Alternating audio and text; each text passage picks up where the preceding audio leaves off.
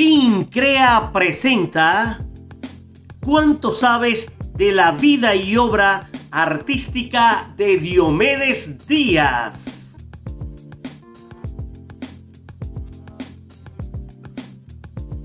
Pregunta número uno. ¿Cuál era su apodo? El junglar, el juntero, el cacique de la junta. Tiempo.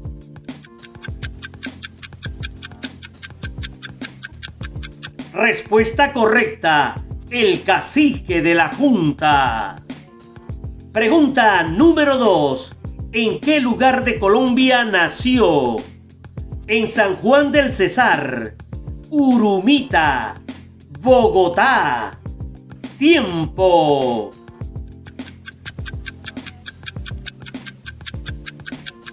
Respuesta correcta. En San Juan del Cesar. Pregunta número 3. ¿Cuántos hijos reconocidos tuvo? ¿18, 28 o 38? Tiempo.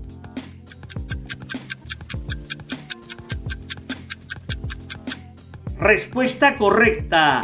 28 hijos. Pregunta número 4. ¿Cuál de estos personajes era su hijo biológico? ¿Miguel Morales, Martín Elías o Beto Burga? Tiempo.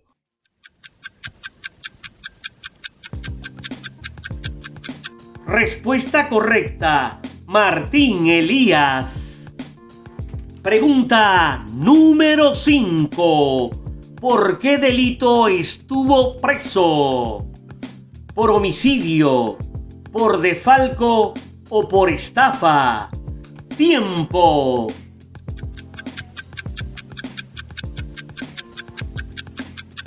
Respuesta correcta, por homicidio.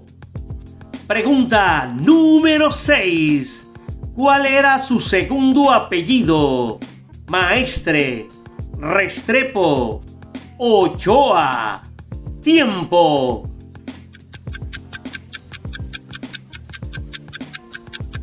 Respuesta correcta. Maestre. Pregunta número 7. ¿Cuál era la fecha de su nacimiento? Primero de mayo de 1957, 28 de mayo de 1957 o 26 de mayo de 1957. Tiempo.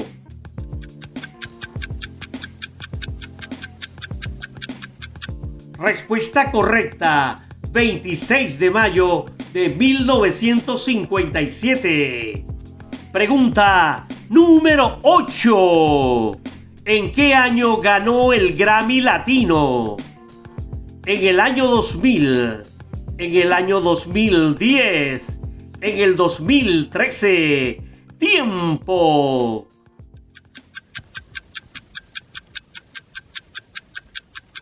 Respuesta correcta en el 2010. Pregunta número 9. En su pubertad, ¿cómo lo apodaban? El chivato, el cantor, el enamorado. Tiempo.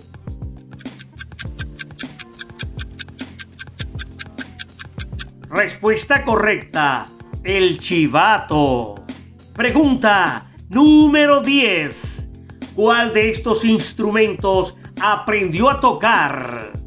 ¿El acordeón, la guacharaca o la tumbadora? Tiempo.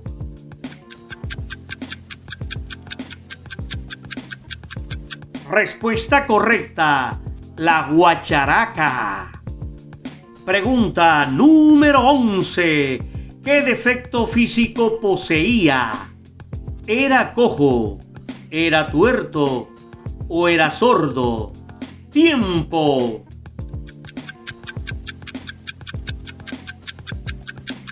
Respuesta correcta. Era tuerto.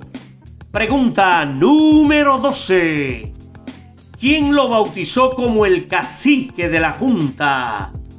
Beto Zabaleta, Elberto López o Rafael Orozco. Tiempo.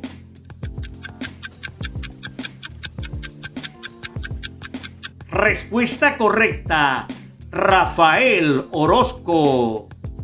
Ya continuamos con las preguntas y respuestas para que demuestres cuánto sabes del cacique de la Junta. Es momento de suscribirte a nuestro canal.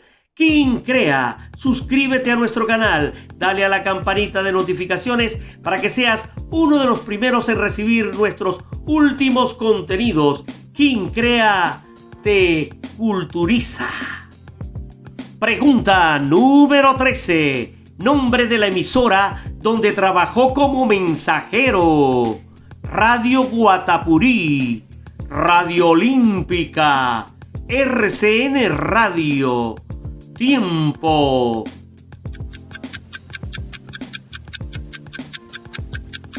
Respuesta correcta, Radio Guatapurí. Pregunta número 14. ¿Cuál fue el tema que le grabó Rafael Orozco? La Negra. Doblaron las campanas. O cariñito de mi vida. Tiempo.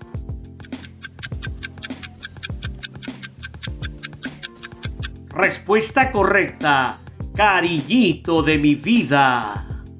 Pregunta número 15. ¿Quién fue su inspiración y guía en el canto? Martín Maestre, Jorge Oñate o Emilio Viedo. Tiempo.